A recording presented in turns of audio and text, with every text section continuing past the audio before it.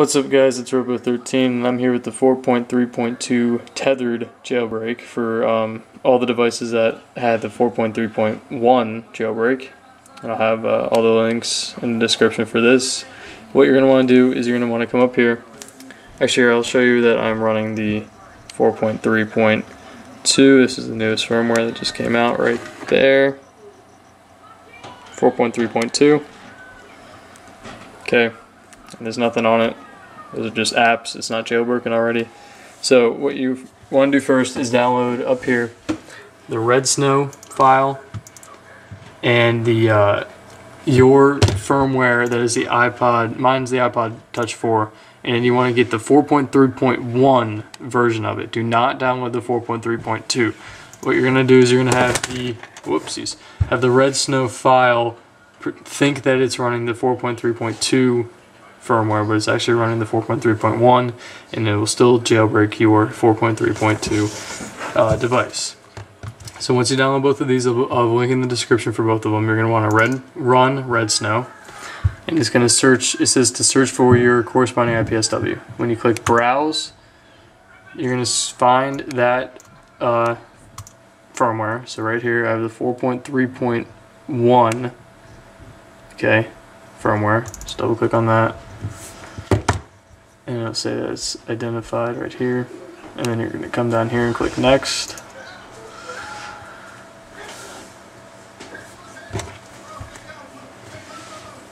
Alright, once that's done, you're going to come down here and click install Cydia.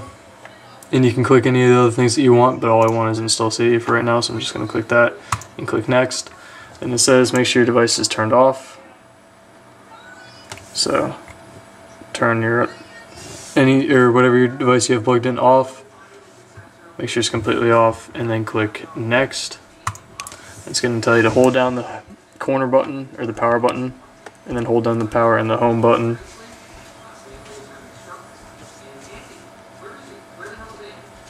And then after that, release the uh, power button and keep holding the home button. Okay. Let's say waiting for your iPod Touch or whatever device you have plugged in, and then it's going to be doing all this stuff. Let's say waiting for reboot. Let's say installing RAM disk, and this should pop up. And it'll be doing all this stuff. It'll say rebooting. It'll say done, and now all these files of code should be on your device. Okay, then this symbol is just going to be installing all the bundles and stuff, all the files that you need. When you it'll reboot, but then when you go up to Cydia, it'll be it should be like a white box, and when you click on it, it won't. It'll just open and then close. See, open and close, open and close. It won't work. So then what you're going to do is you're going to rerun Redsn0w. So you're going to come up to Redsn0w, rerun it, double click on that, click Browse, find the 4.3.1 firmware that you used before, 4.3.1. Double click on that, it'll say processing firmware, it'll say it's identified, and you're to click Next. Let it do all this crap. Okay, then you're gonna uh, uncheck these and click just boot tethered right now. So you're gonna click that one. Okay, that will reboot your uh, your device in the tethered jailbreak. So the Cydia app will work after that. So after you click that, you're gonna click next. And you're gonna go through the steps again. Turn off your iPod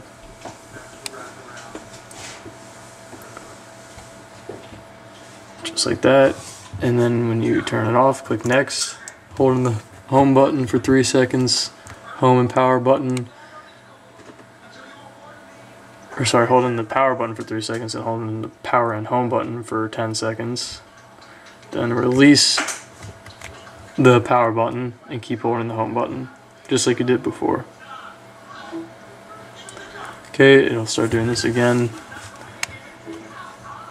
uploading for a stage, waiting for reboot, and now it should flash the screen and it should show a pineapple, just like that. It'll say done on the screen right here. Done. You can just click finish, and then you let the you finish it on the uh, you let the rest happen on your iPod Touch. You, you just wait. All right. Then after it reboots, you go over. If you click on the Cydia app, it'll say preparing file system and Cydia will exit when complete. So this is how you jailbreak the 4.3.2 firmware using the 4.3.1 uh, downloaded firmware.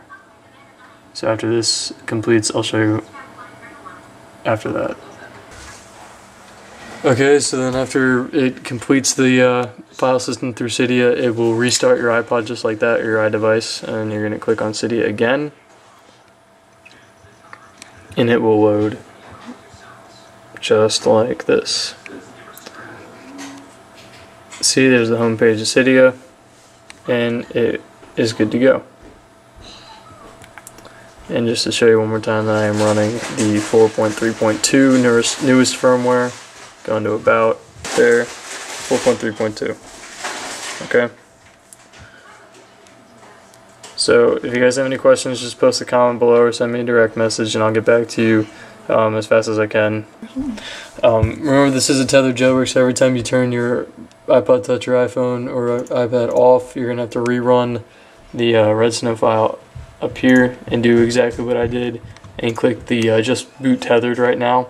So anytime it, the device shuts off or the battery dies or anything like that, you're going to have to rerun the Redsn0w file with the 4.3.1 uh, firmware over top of it. So just remember that anytime the device turns off until there's an untethered jailbreak, um, you will have to do that every single time that the device turns off or resprings or anything like that.